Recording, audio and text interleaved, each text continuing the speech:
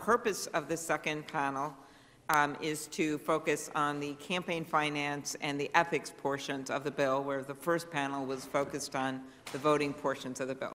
Each witness will now be recognized for five minutes uh, for their opening statement, and we will begin with the Honorable Mr. Potter.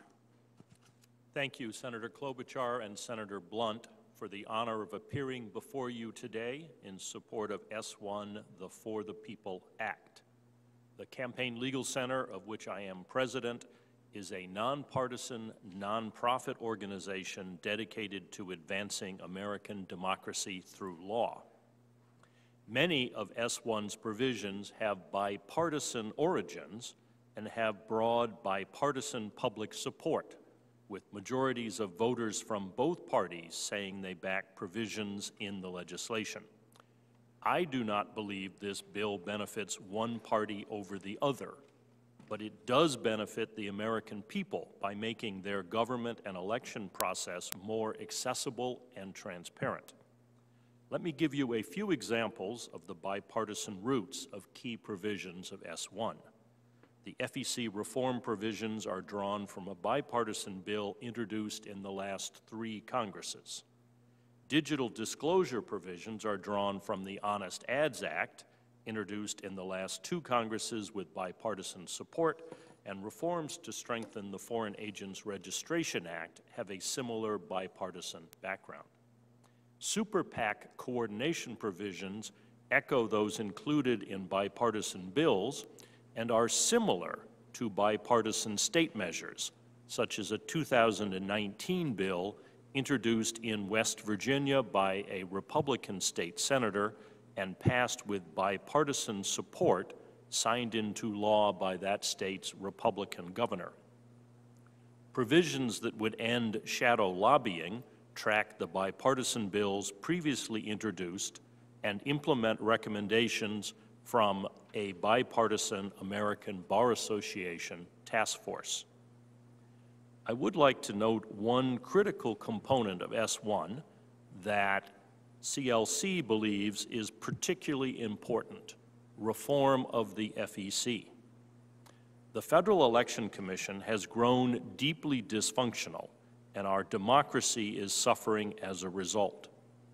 During my time at the FEC, I remember only one agency deadlock on an enforcement matter. Deadlocks now occur with great frequency, almost routinely if the matter has significant political or legal importance. My written testimony to this committee details the rise of these deadlocks over the last decade, and the numbers are stark. Some will try to argue that things aren't as bad as the record shows, but in doing so, they play games using numbers that equate routine commission votes, such as approving the minutes, with votes on major enforcement matters. Or they average commission votes over the FEC's whole history, when the deadlocks are almost all in the last 10 years. The failure of the FEC to muster a majority in recent years to enforce campaign finance laws has resulted in an explosion in secret spending by C4s and other groups that do not disclose their donors. In the 2020 election cycle, dark money groups spent $1 billion in political advertising or other expenditures, including 600 million transferred to super PACs to spend, thereby blatantly laundering the money to prevent disclosure of the donors the open involvement of federal candidates and office holders in raising funds for their supposedly independent super PACs raises the very real danger of corruption. Some people will tell you that FEC commissioners who refuse to support transparency are only protecting First Amendment rights. But the Supreme Court ruled 8-1 in Citizens United that knowing the source of funding of political advertising is a crucial right of voters. Requiring groups like Citizens United, which was not a political committee, to disclose their donors is constitutional, the Supreme Court said in that case. Yet the FEC has repeatedly deadlocked on disclosure issues, whether to write regulations implementing the disclosure holdings of Citizens United or in multiple enforcement matters involving disclosure. S1 would therefore restructure the FEC to address well-documented problems by changing the number of FEC commissioners, improving the commissioner selection process, strengthening the enforcement process to prevent commissioners from deadlocking on making investigations at an early stage, and making meaningful judicial review of FEC action or inaction easier. I believe these changes will allow the FEC to function as the crucial and effective watchdog it needs to be. Thank you. Thank you very much. Uh, Next up, uh, we have the Honorable Lee Goodman. Thank you.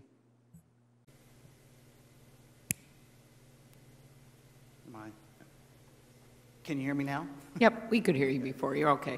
Um, Outweighs many of the benefits of the bill. I also believe that the bill misfires and uh, uh, uh, is inadequate in many ways to address. For example, in the foreign meddling uh, uh, approach using the honest ads provisions. The central feature of the bill that I believe makes the bill objectionable for the American people are, is its vast expansion of the type of speech Americans wish to engage in, subjecting them to public uh, and compulsory disclosure and doxing. Uh, and it does that in two central ways. First, it imposes on the uh, compulsory exposure regime of the FEC uh, a requirement that citizens disclose who they are, who their donors are, who their members are, anytime they make a campaign-related disbursement uh, in an election cycle of $10,000 or more. And a campaign-related disbursement is defined as any, even uh, any uh, communication, any public communication. That would include pamphlets, direct mail, robocalls, TV broadcast, online. Anytime somebody funds a public communication, even if it is focused solely on legislation, but it nevertheless mentions a politician in connection with that legislation in a favorable or unfavorable light, also known as the PASO standard, uh, uh, promote, attack, support, or oppose. That is a extremely vague standard uh, uh, on which to regulate the American people's desire to speak and to exercise their First Amendment right to speak, if they so choose, anonymously on policy and issues. Uh, and uh, you don't have to look very far in the law to find good examples of how vague that standard is. It would, it would represent a vast expansion of speech regulation in America to everyday, ordinary policy speech. And the second area that this bill expands uh, public compulsory disclosure and exposure of citizens and groups when they want to speak is under the honest ads provisions.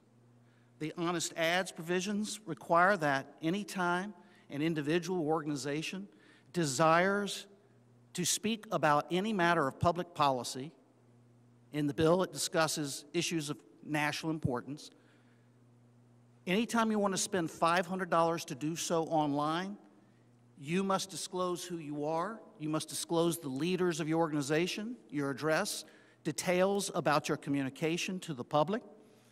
And so these, uh, and, and yet it does so uh, under the, um, under the uh, purported interest of preventing foreign meddling, and yet it targets the speech of American citizens, and it imposes on American media companies all new liability, both civil and criminal liability, because one bill makes American media companies both the policemen of foreign speech that might end up on their online platforms and subjects them to potential criminal sanctions if they fail to do so. Um, so while it starts as a proposal for Russian meddling, it imposes restrictions on all American citizens and media companies. It is under-inclusive to even effectively address active measures by foreign countries because it covers only paid ads, not the free posts that occur on uh, social media. It, uh, up, it uh, affects only large platforms, and yet there are thousands of smaller platforms that reach hundreds of millions of Americans. It does not address that. And it does not address print media, direct mail, robocalls, and other forms of communications. Um, it imposes all new uh, standards on uh, media companies, and it also has a fundamental contradiction with the Foreign Agents Registration Act, which exempts the media for carrying foreign propaganda. And U.S. courts have ruled this law unconstitutional, or very, excuse me, a very similar law in Maryland. All of this expansion of uh, speech regulation must be understood in the current context and the times in which we live, where we have heightened political polarization and intolerance in America, because that informs the degree of chill and restriction on actual speech that will, will occur if this uh, expansion of speech regulation takes effect. Thank you, Chair. Thank you very much. Uh, And our uh, next witness, uh, Mr. Wertheimer.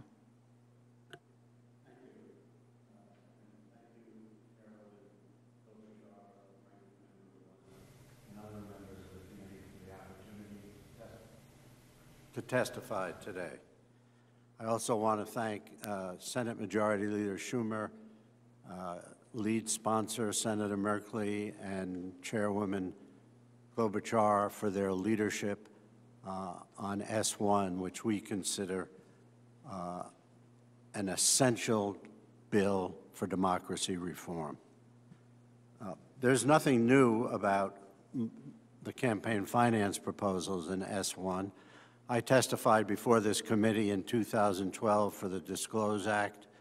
Uh, The major campaign finance provisions have been before the, this, the the Congress and the Senate at least since 2017 and earlier in many other cases. Uh, Campaign finance reform proposals uh, were passed in the House in 2019. I testified before the House Administration Committee. Uh, The Senate majority in the last Congress chose not to consider this bill or not to hold hearings. I first testified before this committee in this room in 1973.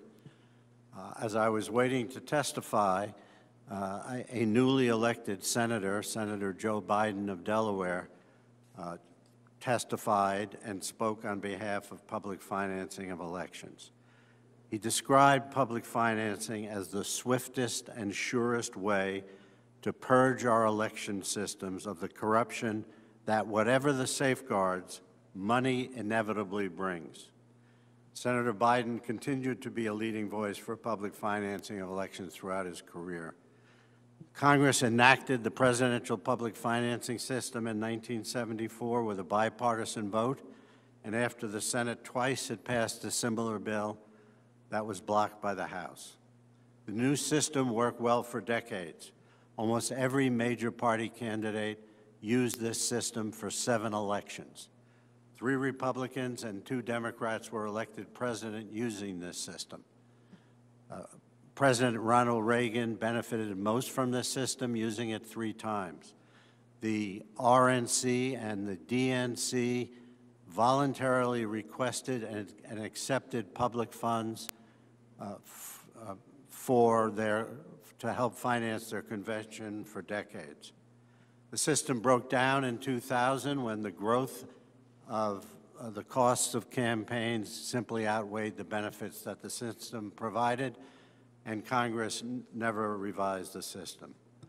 The campaign finance system today is flooded with funds coming from influence-seeking billionaires, millionaires, lobbyists, bundlers, business executives, dark money groups, super PACs, and special interest PACs. As a result of Supreme Court decisions, the American people have been treated to the spectacle of the top donor and his spouse in the 2020 elections, giving $218 million, $218 million to influence the 2020 elections. The next leading individual donors provided 153 million, 72 million, 68 million, and 67 million dollars respectively. The top 100 donors to super PACs provided 2.1 billion dollars. The national median family income in the United States in fiscal 2020 was $78,500. The current system may benefit the interest of the donors, the super PACs, the dark money nonprofits, and the candidates being supported, but it does not benefit the interests of the American people. S1 addresses this problem by providing an alternative financing system that gives candidates the option, the voluntary option, to finance their campaigns with small contributions matched at a six to one ratio. Uh, there's a big difference between the presidential system and this system. The presidential system was financed with tax revenues. The new system prohibits the use of tax revenues to finance the matching funds. The system would be financed entirely by a small surcharge on penalties and settlements paid to the government by corporations, corporate executives, and wealthy tax cheats. Uh, this system also does not have spending limits and therefore does not run into the problem that the presidential system ran into. Thank you very much. Thank you very much, um, Mr. Wertheimer. Um, Next, we turn to the Honorable Bradley Smith.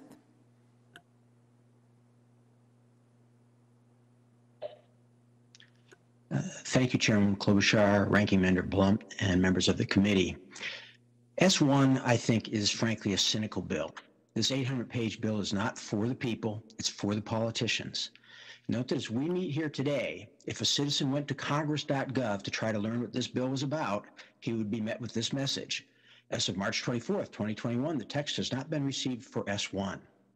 This rush forward with a lengthy and complex bill suggests a desire to make sure that few of the American people actually understand its impact. But the insiders understand it yesterday in a training session on how to pressure senators to pass S1, held by an ad hoc group called Declaration for Democracy, a Democratic U.S. Senator expressed his belief that S1 would eliminate two thirds of the speech critical of the progressive agenda. And speaker after speaker noted that S1 was needed because it would silence voices that question the progressive agenda and thus make that agenda easier to pass. The cynicism for the For the Politicians Act is highlighted by two provisions. The first is the point just noted by Mr. Wertheimer that the bill claims not to use taxpayer money to fund elections. It then immediately sets up a system using taxpayer money to fund elections. The bill provides that the system will be paid for with fines, penalties, and the sale of government assets. But all of this is taxpayer money, and all of us know that. How cynical is it to claim that the funds of the U.S. government are not taxpayer money, like they're just magical funds that are somehow there? Next is the change in the FEC from a bipartisan organization to an agency under partisan control.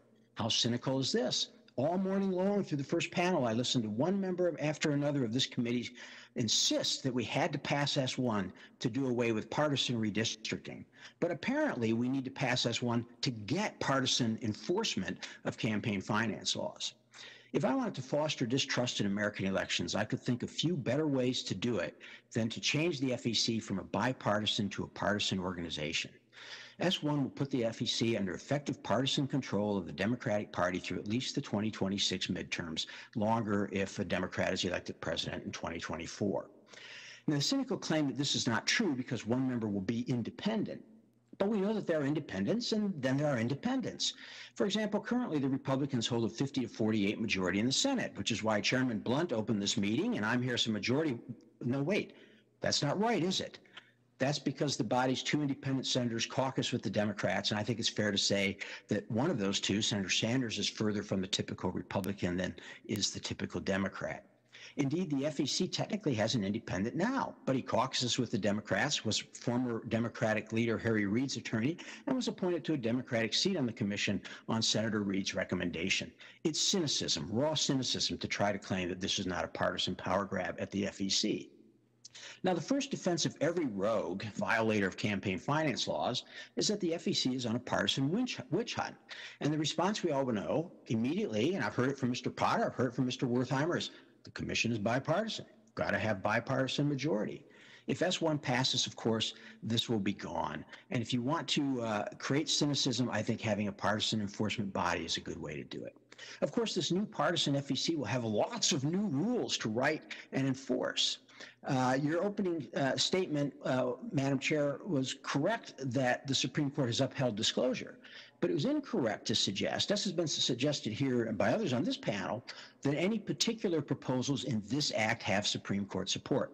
To the contrary, numerous Supreme Court decisions have limited past attempts to expand disclosure in the sort of ways included in this bill.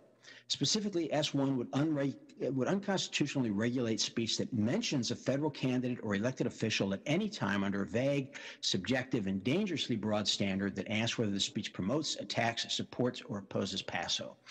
This would, in effect, leave the media, which is exempt, in even greater control of public discourse and messaging. But the focus of the bill on identifying who is speaking is also bad for democracy. We uh, should be focusing on issues rather than on individuals and contributors to organizations so that those people can be doxxed and personally attacked, exacerbating the politics of personal destruction and further coarsening political discourse in our country. There's a lot more bad in this bill. Uh, I could go on for some length, but my time is nearing an end. So we'll leave it to say that uh, a detailed analysis of its provisions is available at uh, www.ifs.org by the Institute for Free Speech and in my prepared comments. And I look forward to questions. Thank you very much. Thank you very much. Um, And our uh, last witness is uh, Ms. Tiffany Muller. Thank you so much, Madam Chairwoman. Chairwoman Klobuchar, Ranking Member Blunt, and distinguished members of the committee. Thank you for the opportunity to appear before you today to discuss S1, the For the People Act. I would like to thank Senator Merkley for introducing this bill with Chairwoman Klobuchar and leading the efforts in the Senate. I would also like to thank Senator Schumer for recognizing the grave urgency to pass this bill and designating it S1. And finally, I would like to thank the other witnesses participating today, many of whom, like my colleagues Fred Wertheimer and Trevor Potter, have given decades of service on these issues, as the chairwoman pointed out earlier. My name is Tiffany Muller. I'm the president of End Citizens United Let America Vote Action Fund, and we are dedicated to fighting the biggest threats to the foundation of our democracy unlimited and undisclosed money in politics and voter suppression and I'm pleased to be here to represent our 4 million members nationwide. They are regular people in every state across the country teachers, nurses, first responders, and business owners, and many more who make this country run. And like too many other Americans, they believe their votes don't matter and their voices aren't heard. And too often, they're right. The For the People Act can change that. It ensures people, not just the powerful, are the foundation of our democracy. Americans understand that the money in politics has led to corruption and that ultimately it's not only impacting their own bottom lines, but their lives and the daily lives of their families. They know corporate interests and big donors have access and influence that they don't. They have seen the impact of a broken Washington firsthand. Here's how the corruption of our democracy has impacted real people in this country. Big Pharma has spent hundreds of millions of dollars on campaign contributions and lobbying since 1990, and it was rewarded with a $76 billion corporate tax cut. But drug prices didn't go down for our members or anyone else, even during this pandemic. In fact, almost one out of every three Americans quit taking medicine they needed this past year because they couldn't afford it. Another example, almost 90% of Americans support background checks for all gun sales, it's not controversial. Yet, even in the face of horrific mass shootings, including in Colorado and Georgia just this week, Congress has been unable to act. The NRA has spent nearly $130 million in outside money in our elections since 2000 and has blocked even the smallest progress. We can look at the response to this horrible pandemic. After an initial bipartisan effort to pass early relief, it took over nine months to allow a vote on much needed additional assistance to American families. That delay was largely caused by corporations demanding special carve outs to give them immunity. That, senators, is money in politics. And money in politics has always been a problem, but the magnitude has exploded since the 2010 Citizens United decision. In the 20 years before that decision, there was $749 million in outside spending on political issues. In the 10 years since, that has skyrocketed to $7.3 billion. And this flood of outside dollars has been driven by a handful of wealthy Americans who often have different priorities than everyone else. And the amount of dark money is increasing at a dangerous rate. Right now, only a quarter of outside spending is fully disclosed, only a quarter. The American people deserve to know who's trying to influence their vote and their representatives in government. And not only are these dark money forces preventing progress on the most important policy issues, but they have launched an all out assault on the right to vote with an intensity not seen since the Jim Crow era. In the run up to the 2020 election, dark money groups funded dozens of lawsuits across the country, attempting to disenfranchise millions of Americans. And after the election, they spent millions more to spread the big lie about fraud and that the election had been stolen. Now they're funding an unprecedented attack on voting rights at the state level. The New York Times just reported that dark money groups are driving this strategy because they believe it's the only way to protect their interests. This all underscores the urgent need to pass the For the People Act and to pass it now. The individual elements of this bill work together to take on corruption, hold government accountable, and put the power into the hands of regular Americans. These are popular, common sense reforms to reduce the influence of money in politics, crack down on corruption in both parties, ensure accurate elections, and protect voting rights. They'll benefit everyone, regardless of their political affiliation, which is why 83% of Americans, including nearly three quarters of Republicans, want to see the For the People Act signed into law. Thank you so much for having this uh, hearing today on this critical bill, and I look forward to your questions. Thank you very much. I did want to um, uh, clarify one thing, uh, which was stated by uh, one of the witnesses. Um, This bill is publicly available. Uh, It is on the websites of both of the authors, the lead authors of this bill, Senator Merkley and myself. Um, Sometimes there is delay in getting uh, bills, especially long bills on Senate.gov, but we all know this is um, very, very similar to H.R. 1 uh, which has been on the House website for a number of months.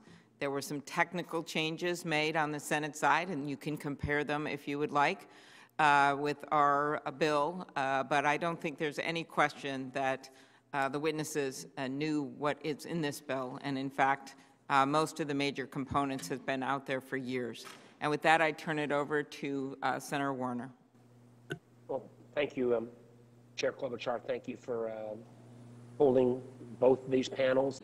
Um, so I'm, the Honest Ads Act, as you knew, grew out of the, um, what came out of the 2016 campaign, where we saw social media firms who were suddenly being used in politics in a, in a um, dramatically different way than any prior prior national campaign.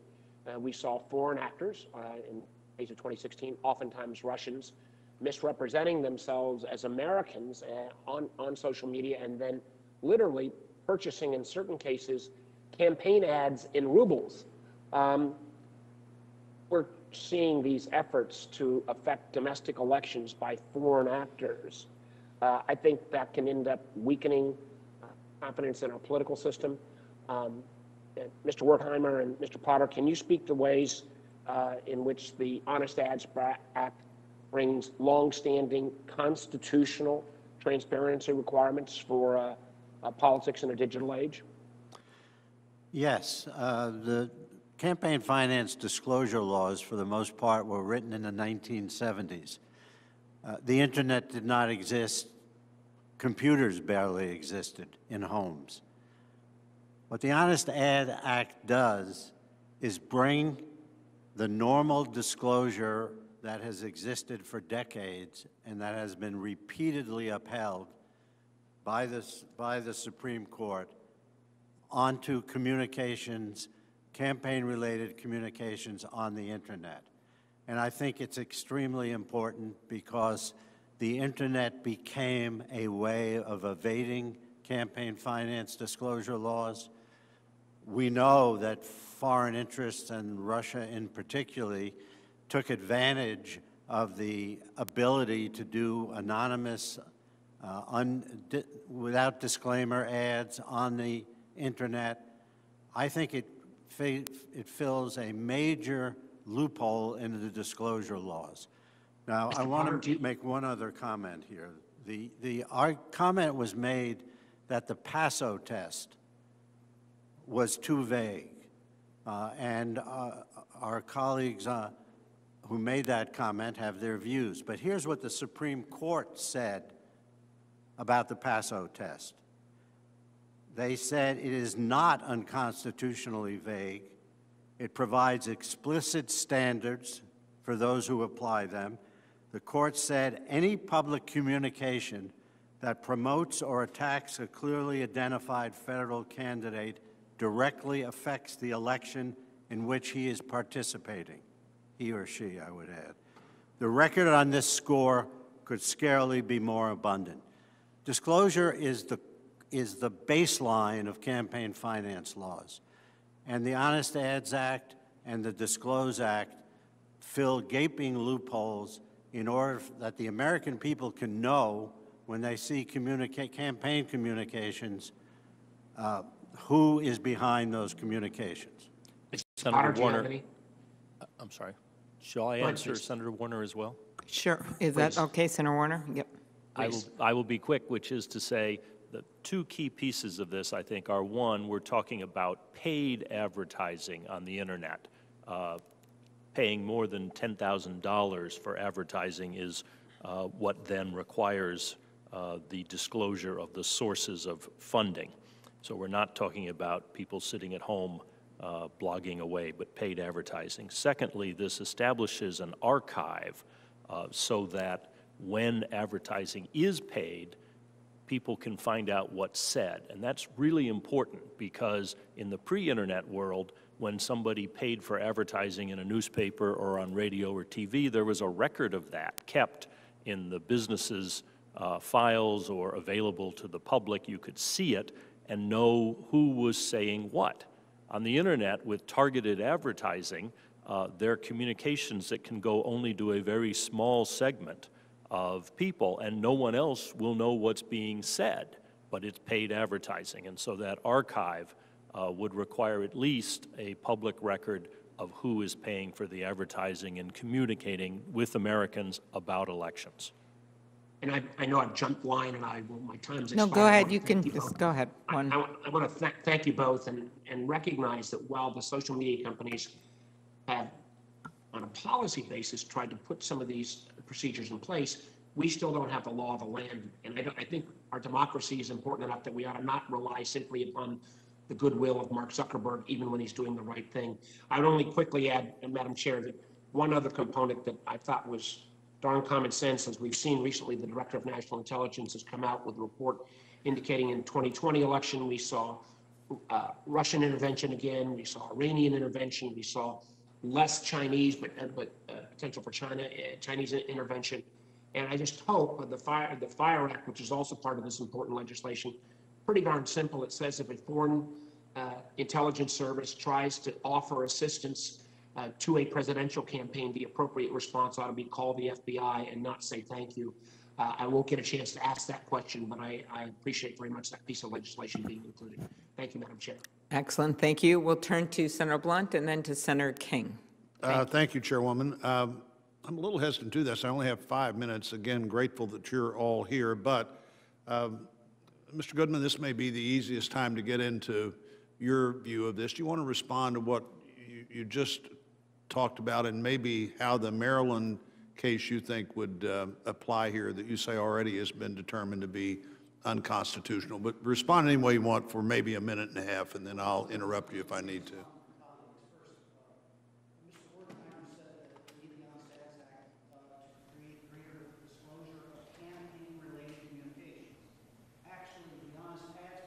Is your mic on, sir? I'm, I'm responding to uh, Mr. Wertheimer's comment that, that the honest ads provisions would affect campaign-related communications. Actually, the honest ads provisions require the, pu- uh, compel public doxing and disclosure of anyone who wants to speak about any national issue, any public policy issue at all without regard to elections, without ever referencing a candidate for public office. You now have to disclose everything about you and your communications under this bill. Mr. Potter said that uh, there was a trigger of $10,000. That's not the trigger for disclosing who you are when you want to talk online. The trigger there is $500. So anytime someone wants to talk about taxes, abortion, climate change, gun rights, whatever the issue is, and they spend as little as $500 to talk about that issue on the internet uh, in a paid ad, they have to disclose everything about their communication, who they are, and open up their archive. Uh, or, I'm sorry, go into an archive. And one comment about the archive the, uh, this bill states what its purpose is.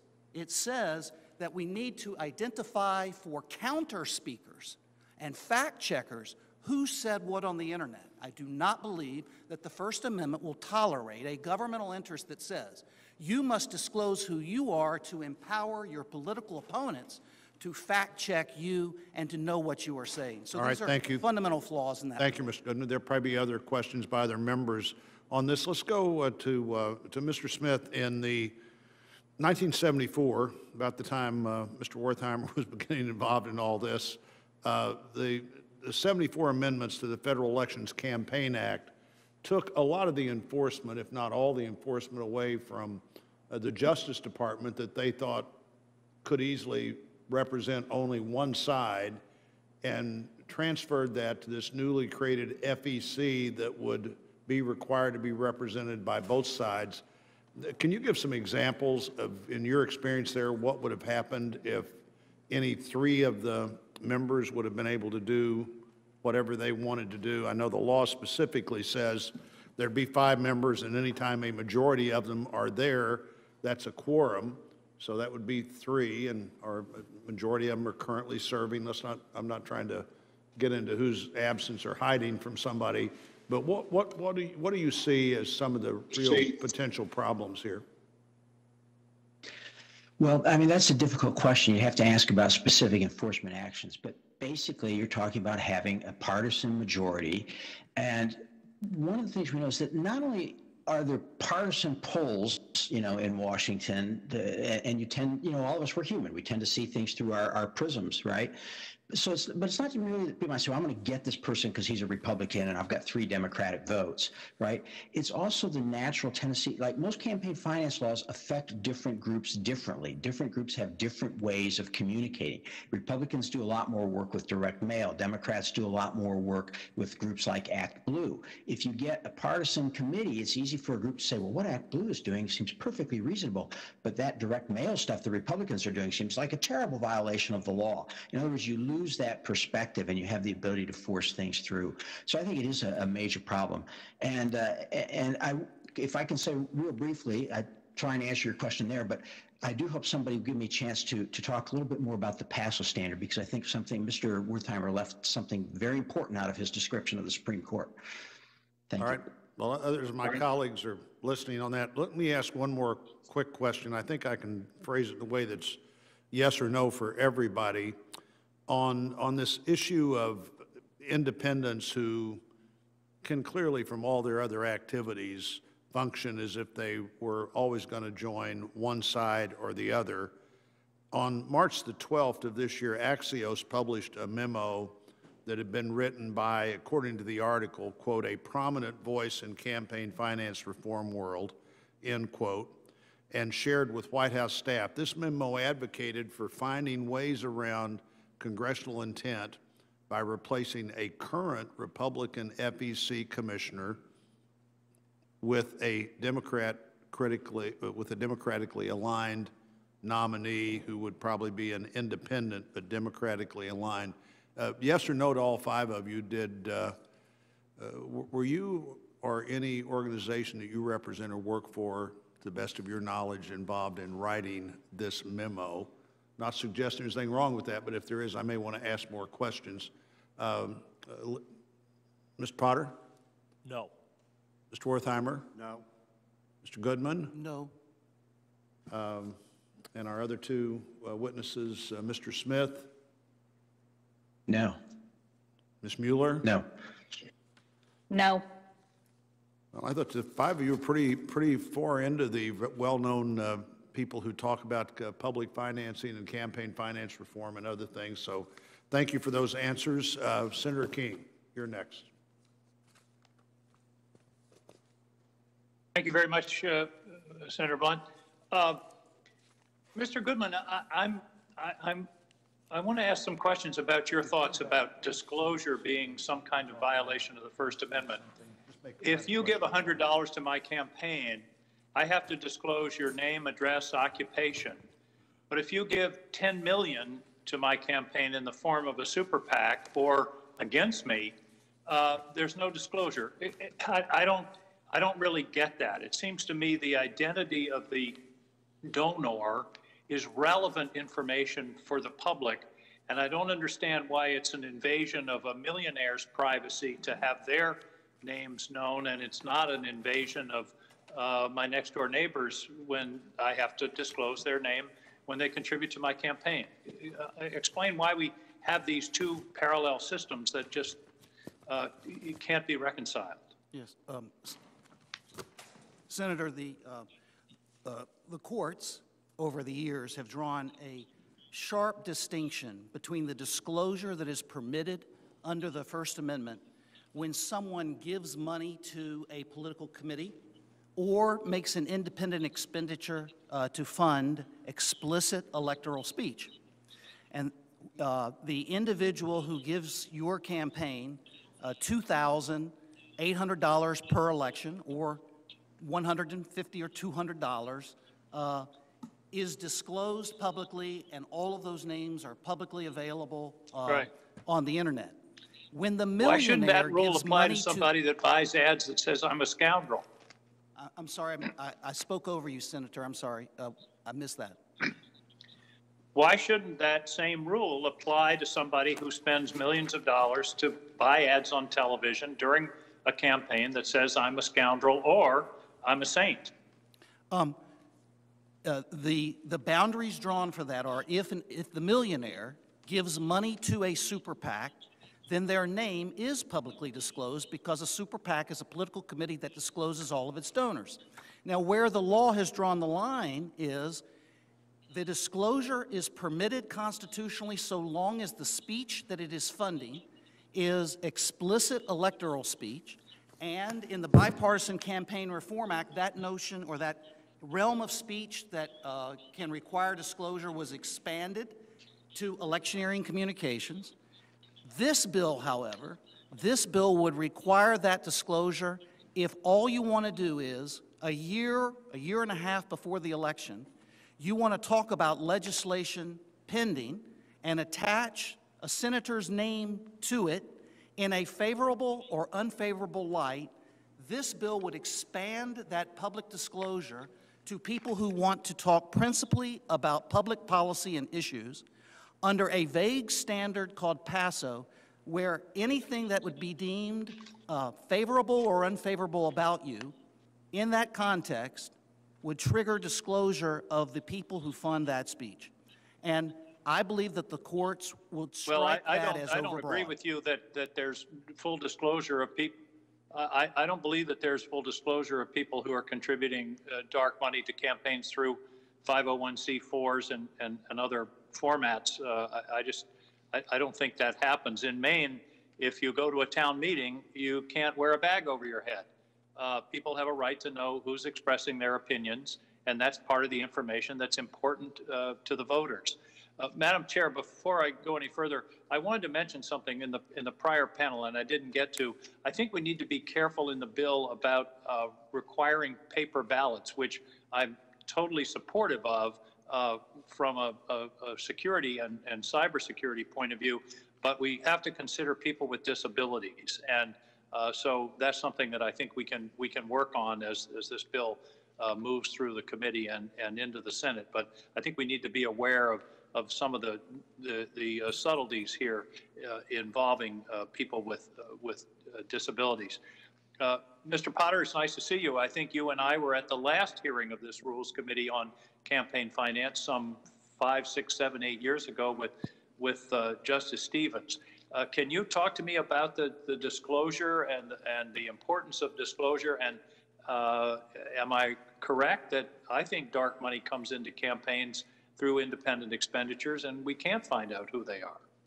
Yes, Senator, it's, it's good to be back good to be back in this room uh, with you virtually uh, on this subject. We still need work on it. Uh, Your question points out why, which is, uh, you're right, somebody who gives you money is disclosed, or your opponent money, uh, over $200. Uh, As Mr. Goodman says, if they give to a super PAC, the identity of the person or the entity giving to the super PAC is disclosed. But if they give to a C4, which runs the very same ad that your opponent could be running or that the super PAC could be running, then there is no disclosure of the donors paying for that ad.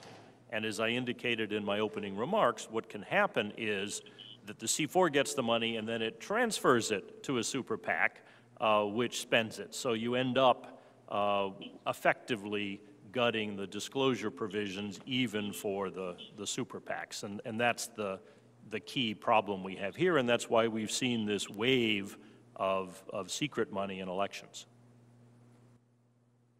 Thank you. I, I'm out of time. I appreciate Okay, uh, both thank of you. your answers. Uh, Back to you, Chairman uh, uh, Klobuchar. Thank you, Senator King. Uh, Next, Senator Hyde Smith. Thank you, Madam Chairwoman. And thank you to all of you that are testifying today. It's a great resource to have, and we appreciate your willingness to do this. One of the most concerning portions of this bill for me is the section setting up government funding for financing of political campaigns.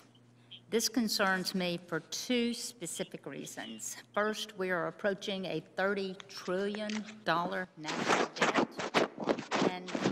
Know, I firmly believe in addressing this debt is a fundamental responsibility that we have that is necessary to keep our economy at full strength for future generations.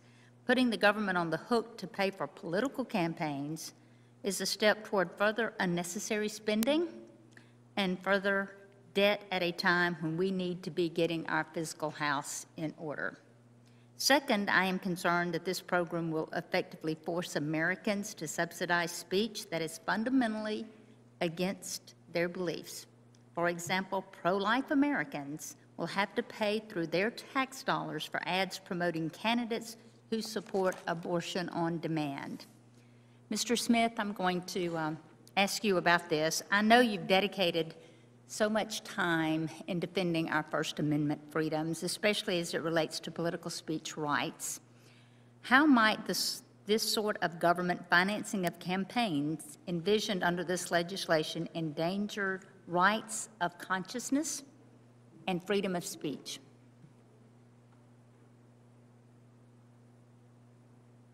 Well, I, th- I think it's recognized that this is very unpopular, which is why the act, like I say, includes this language saying, oh, we're not going to use any tax dollars for it, but then immediately proceeds to set up a system using tax dollars for it, right?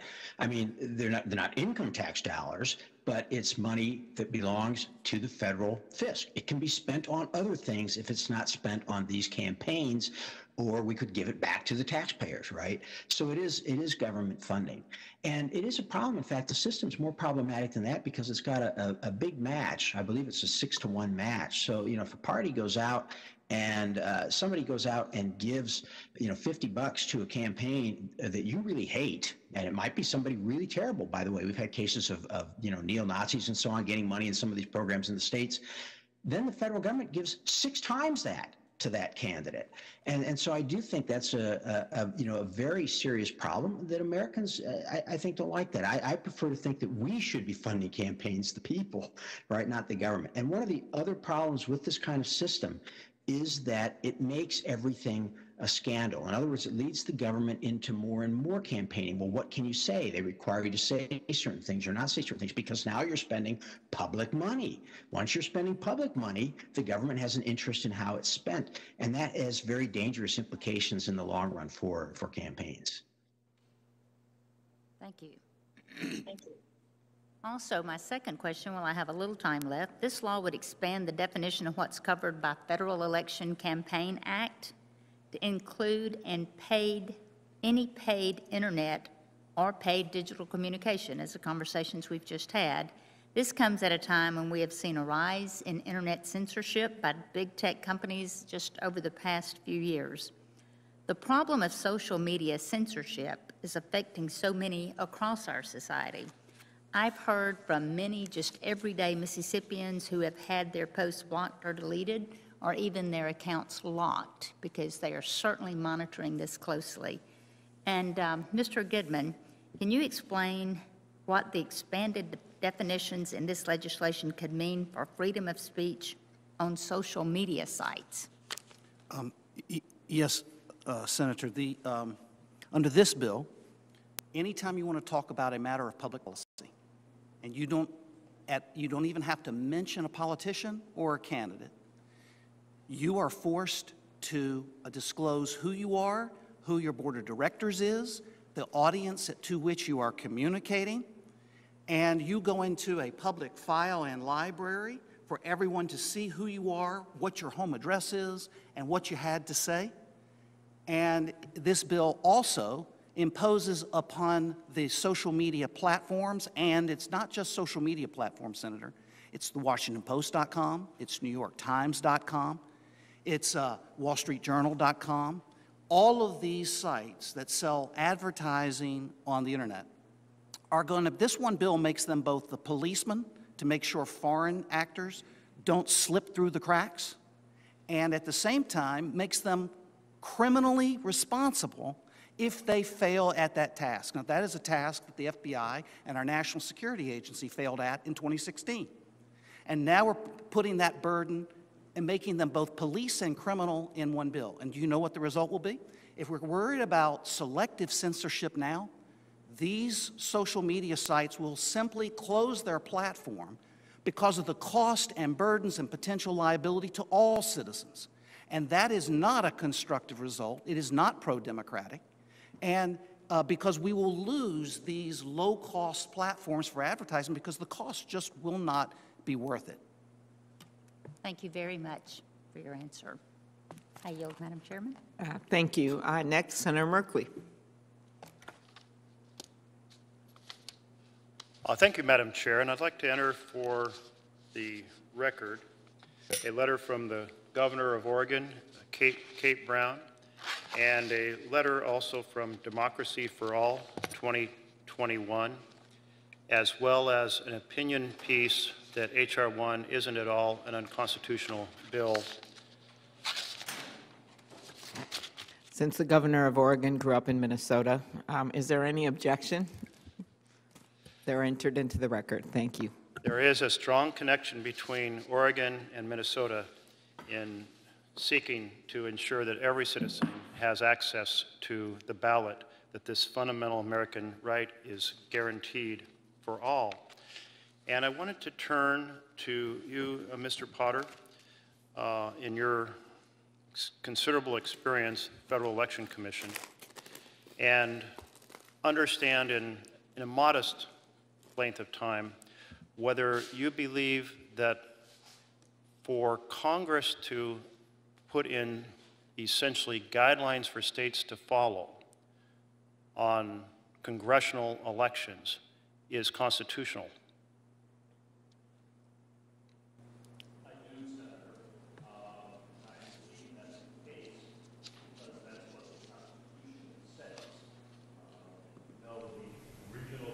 Constitution says that uh, the states primarily have the right to regulate elections, except that Congress may intervene regarding the time, place, and manner of elections. And over the years, Congress has done that on a number of occasions, so it has superseding authority which it has used.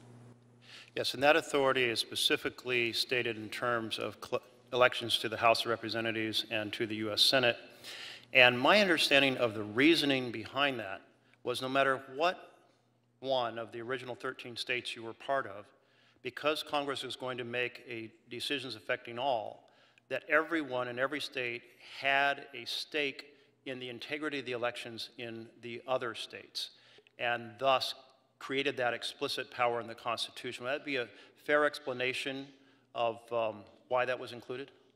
Uh, it, it would be, Senator, and I would add that since then, Congress and the states have amended the United States Constitution, specifically with the 14th and 15th Amendments, to broaden the federal role in ensuring that all Americans have the right to vote and people are not denied the right to vote because of their color. So there are other broader provisions now in our Constitution regarding the right to regulate elections in states. As well as the, the 19th for ensuring that women have the right to vote.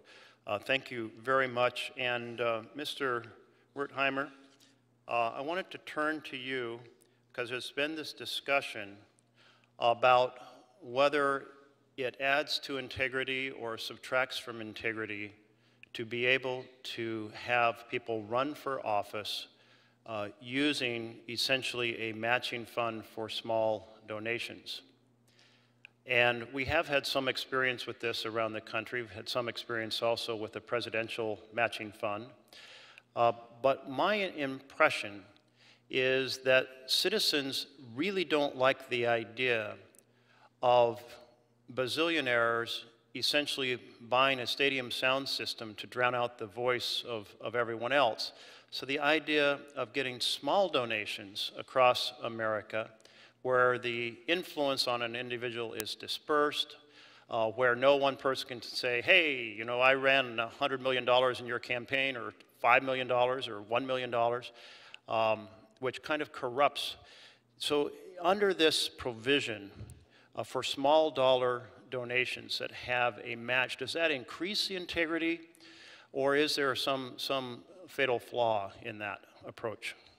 No, it increases the integrity and it increases the credibility of the way decisions are made around here.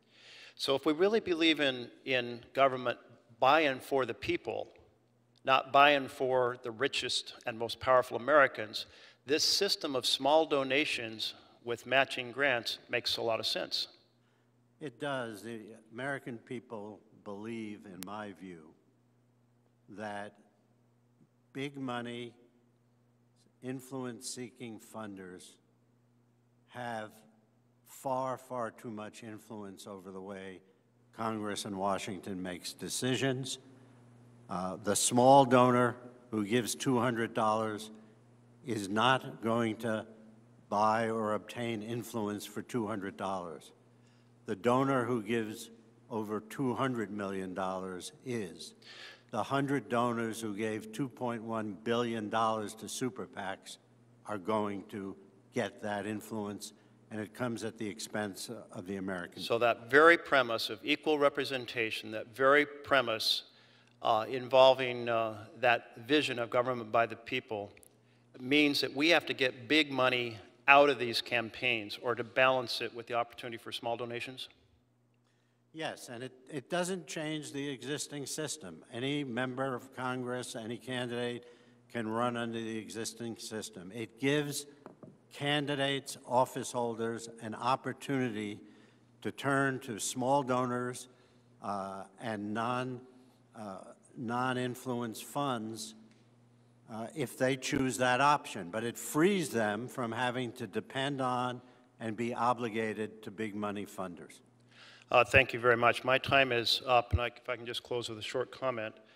I know that many members here spend enormous amount of time calling the richest people across America on both sides of the aisle to ask for funding or attending little gatherings with the, the richest people in America to, to solicit their, their funds, receive their, their funds.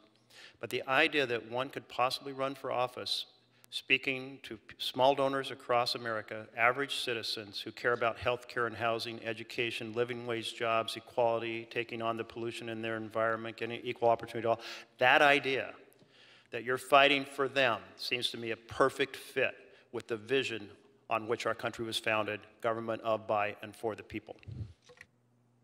Thank you, Senator Merkley. Senator Hagerty. Thank you, Chairwoman Klobuchar. Um, and thank you, witnesses, for being here with us today. Mr. Goodman, I'd like to direct this first question to you. Would you say that this bill is taking the regulatory approach to essentially control what speech the American people are allowed to hear, rather than allowing them to listen for themselves to a wide variety of sources and decide for themselves what they believe?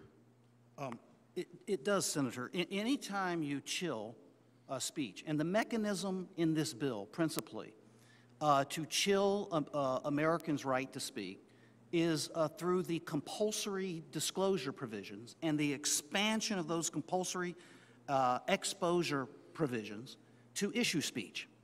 And uh, we have documented studies that show we've got two generations of young people who've been raised at, the, at, at heightened levels of intolerance. We have heightened levels of cancel culture, deplatforming culture, and all of this bill is uh, what this bill is. It runs headstrong into that culture war that we are experiencing right now. And so, what it does is it chills people's ability and willingness to speak openly, both online and through other mechanisms, even about public policy. And what that does is it diminishes people's right to speak, it diminishes all of our rights to hear that speech. And so, it diminishes speech overall. Indeed, indeed. And wouldn't you say that attempting to silence your opponents, to censor what people can hear, and to criminalize those who would say what you don't want them to say is more akin to what you'd see in a totalitarian regime like that of Venezuela or China? Well, um, uh, I, accept that premise. I'll also add that, you know, this whole idea of uh, public doxing, of public compulsory government disclosure, has been used to censor Americans uh, throughout our history. Um, de- de- depending on who controls sort of prevailing culture at the time. and it has been both, it's been ecumenical. It has, in the Red Scare, the subpoenas that went out to people, and the questions, name the names of your fellow communists or socialists, right? Um, Southern politicians demanding from the NAACP, give me your donor list in order to do business, even to litigate in my state of Alabama. This, whole, this mechanism of public doxing and compulsory government disclosure has been a tool, a cudgel, to affect censorship of American people, and it has gone right to left and left to right, and today it is left against right.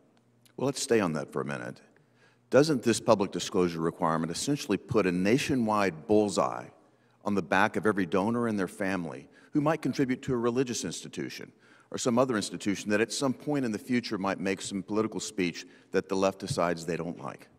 Uh, Senator, that's what it does, because if you're a religious organization and you want to talk about an issue of national importance, take, and, and this is especially acute in, has been especially acute in the uh, uh, social issue arena, historically, because those are the most sensitive issues, and, the, and, and they, they excite the most passions of people on the right and the left. People who support Planned Parenthood, sometimes, if they are disclosed, they have red paint thrown on their front porches, for example people on the right who support life um, are called names and uh, they are harassed as well. And it, it, it has grown. And so, yes, Senator, um, and, and, and, and Mr. Potter said, and we're going to create an archive. In other words, we're going to find out who said what, when, and we're going to create an archive for all time so that people can go back and find out what group you were associated with uh, for all time. Indeed. Thank you. Thank you, Madam Chairman. Uh, Thank you, thank you very much. Um, We may be joined by one more senator, but I will now get to my questions. I've uh, deferred to some of the other senators. Um, So I think I'll start uh, with you, uh, Mr. Potter. Thank you so much as a re- former Republican uh, chair of the Federal Election Committee. I think you know a little bit about how this works, and thank you for being here testifying today uh, for the For the People Act. Um, as a former Republican FEC commissioner, uh, do you see this as creating advantages for parties, or do you see it as simply allowing people to vote and creating more transparency. And I just, uh, just talk about what this is like, because clearly there's some Republicans who agree with you, especially the polls have shown this. Um, But yet, uh, right now, we're in a- a- a- basically a partisan divide on this. And how do you see this as a Republican? Uh, Thank you, uh, Senator. To me, I think the lesson we learn over the last 20, 30 years is that it's a real mistake to try to predict what the partisan outcome will be of making it easier to vote. Uh, I do not believe that more transparency in politics helps one party or the other, that greater vote turnout does, uh, that absentee ballots do. You know, I was a Republican election lawyer before heading off to run the Campaign Legal Center, and all of my candidates had major absentee ballot programs on which they spent a lot of money to turn people out uh, and guarantee they will have voted before the election so that if it rained or they were feeling badly, they didn't miss the chance to vote. Uh, So I, I think it's a mistake to look at this through a partisan lens. I think it is better to say most of these provisions deal with very real problems that have been identified and that the disclosure we will see uh, as a result of this, the issues we're talking about today, the uh, independent redistricting commissions uh, that uh, will be required by this bill in states across the country, help people in red and blue states. And I certainly, I remember just this week talking to Senator Tester about this, about uh, Montana, they had a high voter turnout because of the vote by mail, but Republicans predominantly won in that state in this last election, but more people voted. And I've certainly seen this ebb and tide in my own state, as I mentioned earlier, uh, where we've had um, some of the most open elections in the country in terms of number of people voting, almost always the highest voter turnout. We've had Governor Pawlenty, and we've had uh, Governor Dayton, and we've had Governor Ventura, and we've had both uh, Republican and Democratic senators um, with those rules in place. Could you just highlight a bit the um, election, the FEC, of your frustration, having been on there, and the way it's structured, which was all for good purpose? Um, It was structured uh, before and is structured now, and why uh, we would be restructuring it, um, and how that could play either way, depending on um, who, who won an election. Because there's been claims it's some kind of power grab, but I think it's important to know, once we change it, it's, it's changed, no matter who's in charge. I think there are a couple of points that are important. One is that, that some people say, well, the FEC is functioning just the way Congress intended, uh, which is to say it's doing nothing. I don't think that's true. I think you go back and look at uh, the, the Watergate legislation that created it, uh, and what people wanted to make sure is that it was fair, that both parties were involved, and that it took a bipartisan majority to take action. And while I was there, that's essentially what happened. It was very much a, I'm going to vote against your guy, but you better vote, uh, you know, against mine when this comes up. So there was a, a back and forth. That has changed. We've seen this over the last decade, real partisan deadlock. And the effect of that deadlock is it can't actually take action. It can't open investigations uh, because without permission of a majority, there is no way to go forward. It can't do rulemakings, et cetera. I think in terms of the question of whether this is a partisan power grab, there are a couple things I'd note. First, current law says not more than three of any one party. This proposal says two of each party and one independent. And the guarantee there, the safeguard, is twofold. First, this establishes something that I and others have proposed for quite a while, which is an independent, nonpartisan blue ribbon group to advise the president on nominees so that it isn't just party leaders who are doing that. Then you have, of course, the safeguard of the Senate. Commissioners don't get there without Senate confirmation. And finally, and I think probably most importantly, the FEC does not have the ability to fine someone. It is not a court. All it can do is investigate and say, we think you broke the law, and if you will agree to pay this fine and admit the violation, the matter is over. If you say, no, I didn't, I don't think that's right, then the FEC has to go to court and sue someone and get a federal judge to determine that there was a violation of law. So at the end of the day, what we're talking about is an independent finding by a federal judge unless the person admits that they did in fact violate the law. Very good. Thank you for that succinct and actually understandable explanation. Um, Mr. Wertheimer, uh, the Supreme Court is the only federal court in our nation that's not required to follow a code of ethics. And yet they are deciding the most important decisions of our day. And this comes up a lot in Supreme Court hearings and judiciary, but I'm not sure all the senators understand this, that the federal courts, district court, circuit court, uh, they have ethics rules they have to follow and report things. Could you talk about how the code of ethics that's uh, contained in this bill would help to improve public trust in the fairness of Supreme Court decisions? Well, it's just common sense that the Supreme Court and federal judges should have a code of ethics. Uh, the important part about this provision is that it leaves it to the judicial conference to determine what that code of ethics is. So it maintains an independence for the judiciary. The Chief Justice is the chair of the Judicial Conference, and it's made up of judges. So they will mm -hmm. create their own code of conduct. Which presumably could be like the circuit court ones they have right now. Yeah, absolutely. I'd like mm-hmm. to make one other comment, sure. if I could.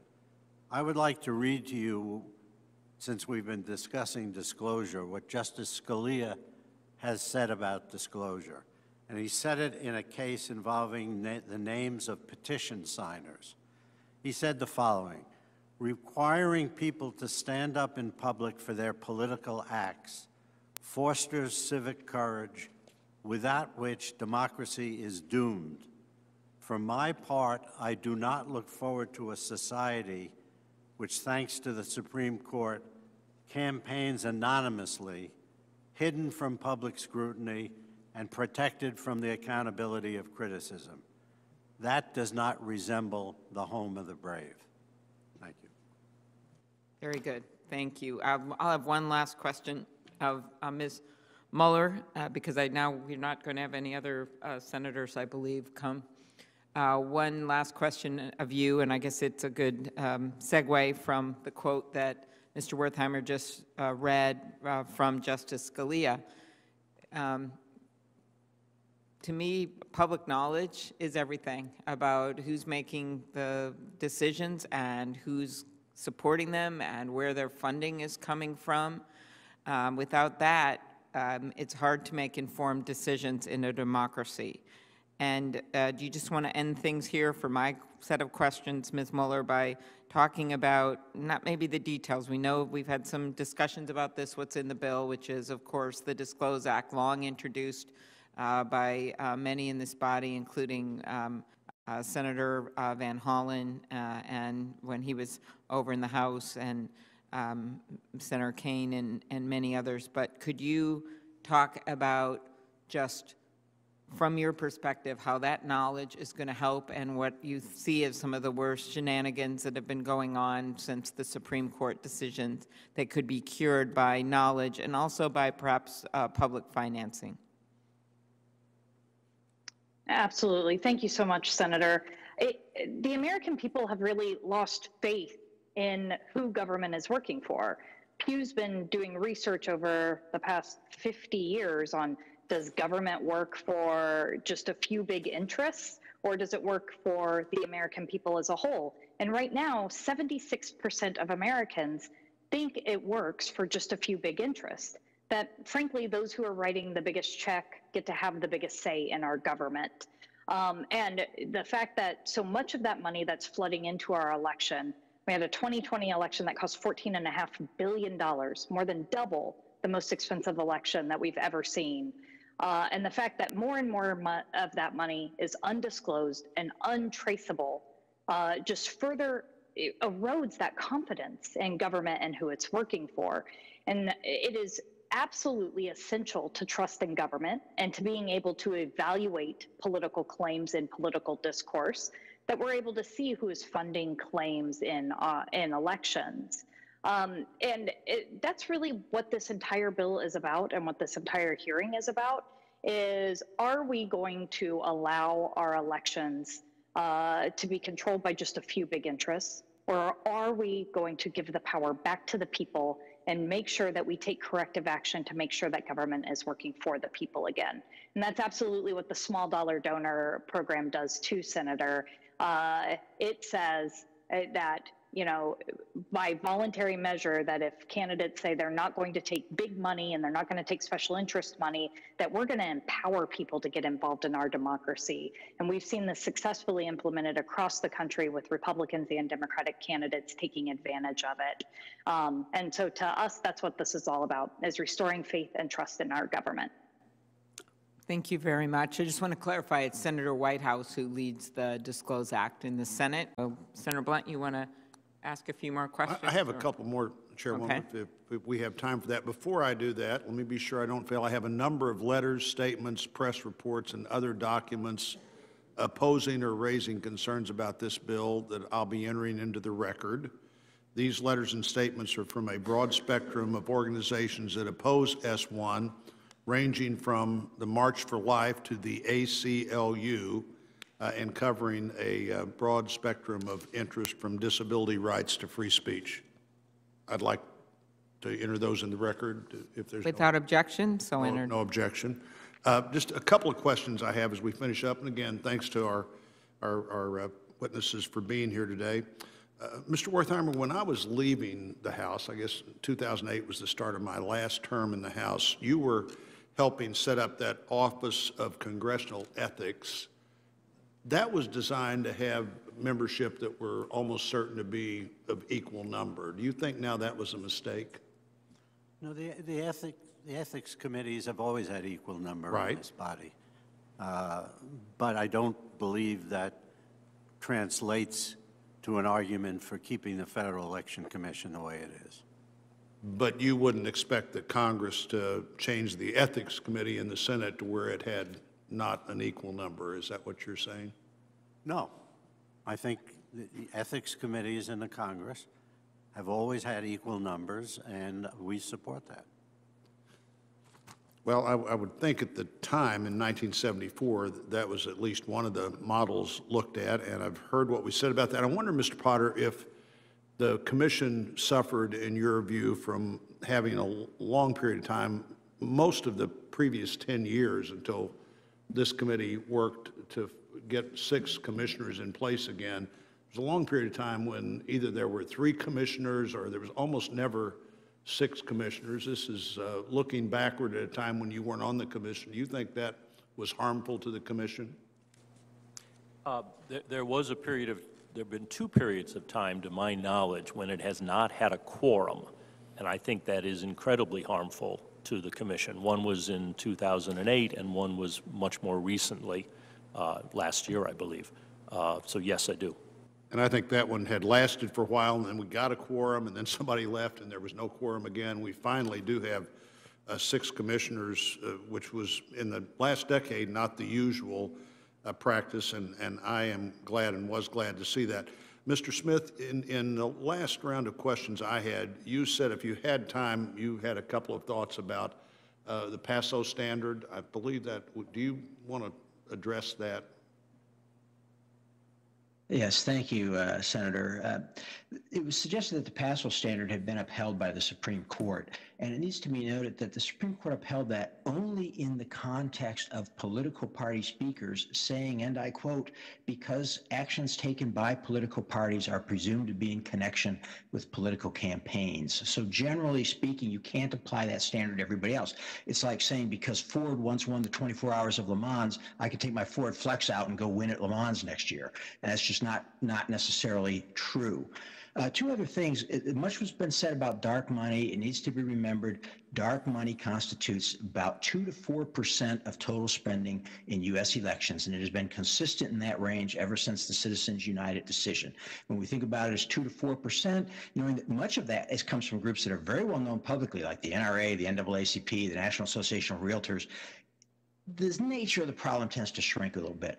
Finally, Mr. Potter, if, if I, I may have misheard him because I can't believe he would, would make this mistake, I, but I thought he, I heard him say that, that newspapers had a political ad file that they had to keep.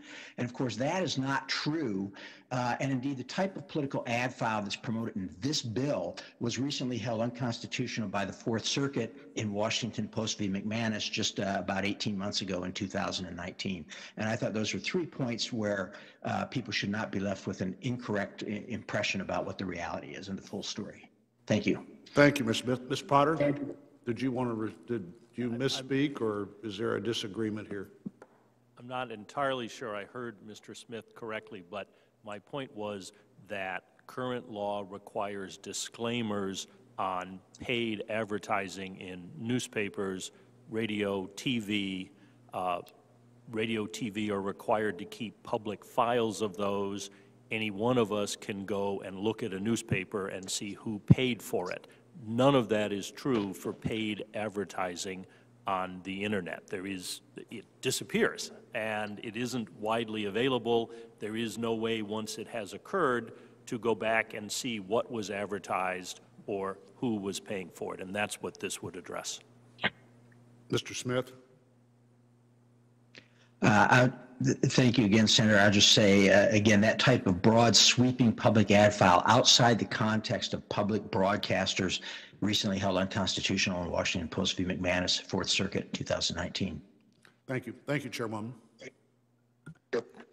Thank you very much. Uh, Do you want to say a few closing words, uh, Senator Blunt? I was going to say a few things. Well, I'm sure we're all going to have uh, plenty more to say about this Okay. as, as we, as we move forward. I would say on the issue which still troubles me of thinking every bill introduced in every state uh, somehow represents a, a broad view of the country uh, or the way the country's headed. I would say uh, also as it relates to the 2020 elections, in the pandemic, many states stretched, as I believe they had the right to do under most of their state constitutions and laws, to make it easier for people to vote in a pandemic circumstance than it would be any other time. In some of these so-called suppression uh, movement, uh, bills that may actually be the ones that have a chance of passing, states are looking at that. They're trying to capture what part of that they should make part of their permanent process, which almost always is a much more uh, bigger open door than they would have had prior to 2020, but reflects the likelihood that we're not going to have a pandemic every election. I, I just think this is, this is not the reason to move forward. Now, you can make all the cases you want about why we should do these things, but I think the idea that somehow state legislatures uh, are doing things that will dramatically change everyone's positive view uh, that mentioned, that talked today about the 2020 elections uh, is a, uh, is a, is, is frankly a, a, a false uh, narrative, and uh, I hope we can talk about the merits of this bill as opposed to what some random state legislature may have filed in a, in a state legislative body that may not even ever have a hearing, let alone have a chance to get on the governor's desk. Thank you. All right, well, thank you very much, uh, Senator Blunt, and I want to thank our witnesses for appearing today to discuss this legislation, which I consider essential to our democracy. Uh, The testimony we've heard today makes clear uh, that the For the People Act is, uh, to quote Secretary Benson, the Secretary of State of the state of Michigan, as she told us, our best chance to stop the rollback of voting rights and to ensure that the voice and vote of every citizen is protected. And yes, we had a turnout like no other, nearly 160 million people in 2020 in the middle of a pandemic. And in a way, it is just tears at your heartstrings to think that people were willing to find a way to participate in this democracy. Democrats, Republicans, Independents, people of any political party. It was an amazing moment for our democracy. And I, for one, think that once we've opened that door of finding ways for people to legally and safely vote, that you don't want to go backwards. You want to keep those reforms in place. that that's a good thing. And as uh, former Republican uh, chair of the FEC, uh, Mr. Potter just pointed out, it doesn't always mean that one party wins. The House actually got closer in terms of the majority in this last election. There were a number of uh, statewide elections won uh, by Republicans. But what it means, and I've experienced this big time in my own state because we have the highest voter turnout in the country year after year, is that more people are participating. They feel part of our democracy. They don't feel left out by our democracy. I have people come up to me all the time that say, I voted, well, I didn't vote for you, but I voted, or I voted for you. I wasn't going to, but then I did. They're part of it. They want to talk about it. They're proud that they participated as citizens. And that's what I think we lose that if we start making it harder and harder for people to vote. And I feel the same way about uh, the money in politics as someone that didn't come from a lot of money, as someone that uh, the first race that I ever ran, you could only get uh, get uh, for eight years $100 in the off election years. That's the maximum you could get from any contributor, and $500 in the election year. That made me reach out to a lot of people and get small contributions for a jurisdiction that included over a million people. And then when I start running for the US Senate, that's a whole different game. But at least there's limits. And that was before all the outside money came flooding in. At least I felt I was responsible for the ads that I ran, and my opponent was responsible for the ads that he ran, and I could respond to them on an even playing field.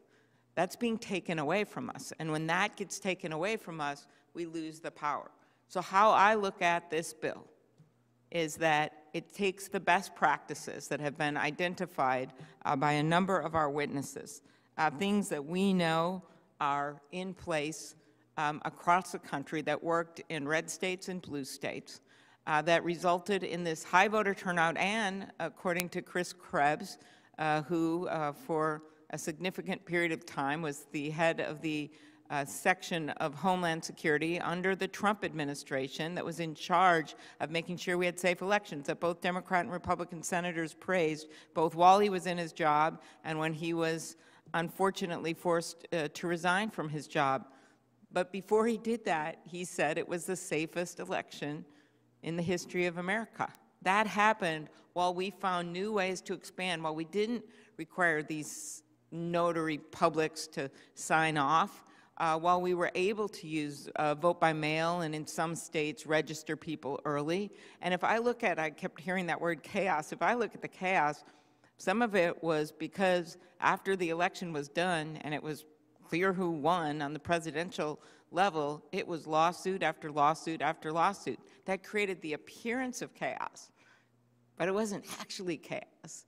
It was just votes being counted.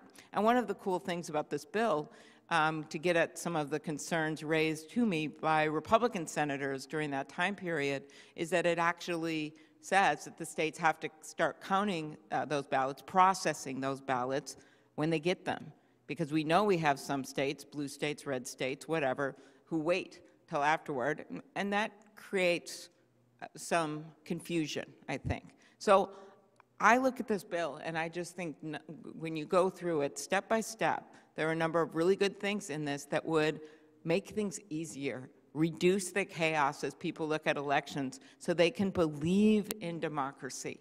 And we know, no one knows better than the people that work in this building, the staff that work in this building, what it means to have people try to undermine an election. No one knows better than former Vice President Pence uh, what it means to be trying to do your constitutional duty and simply count the votes and be there to do your job and have an angry mob come in basically trying to kill you. That's what happened in this place. So I get back to this word chaos, talk about being able to turn something on its head. Uh, because what we're trying to do with this bill, by putting in some simple, workable standards across the country, and you heard from the Michigan Secretary of State who said she implemented this in a very short period of time in her state that didn't have the Minnesota-like um, ability to make it easier for people to vote. And she didn't have chaos. She had more people vote. That's what this hearing is about. And I do want to thank you, uh, Mr. Wertheimer, for 50 years uh, of testifying and working on this issue. Uh, I'm sure it is cathartic to finally be able to testify in the Senate, in this room, um, on this bill, uh, which you've worked on provisions with regard to this bill for so long. Um, And uh, you so well uh, quoted Justice, former Justice Scalia, about the need for transparency, um, the need to figure out what's going on in this country. That's an essential part of democracy. Um, And I just want us to take from this, uh, especially in the words of former FEC Republican Chair Potter, um, that in fact, um, this, in the end, is not a partisan bill. As he said, this bill does not give power to any particular party over another. It gives power back to the voters.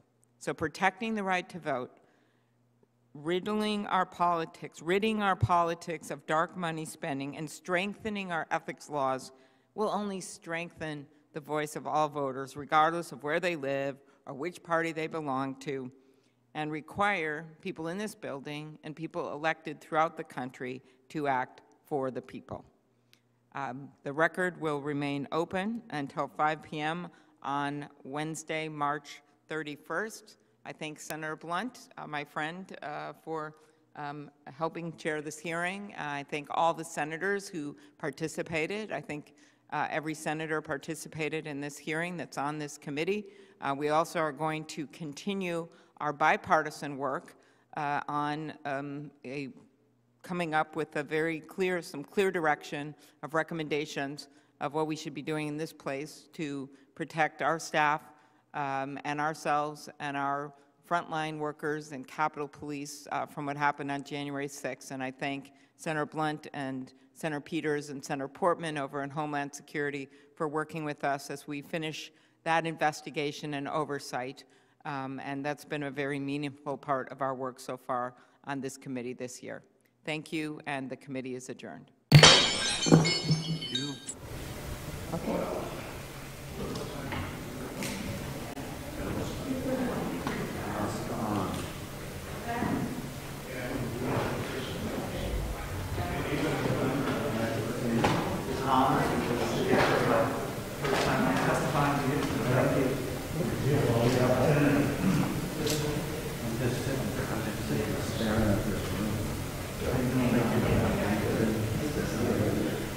I'm I'm sure that question came because somebody cited uh, campaign legal center in that document. Yeah, that's it. document. But I think somebody put the finger on it. Thank you. Thank you,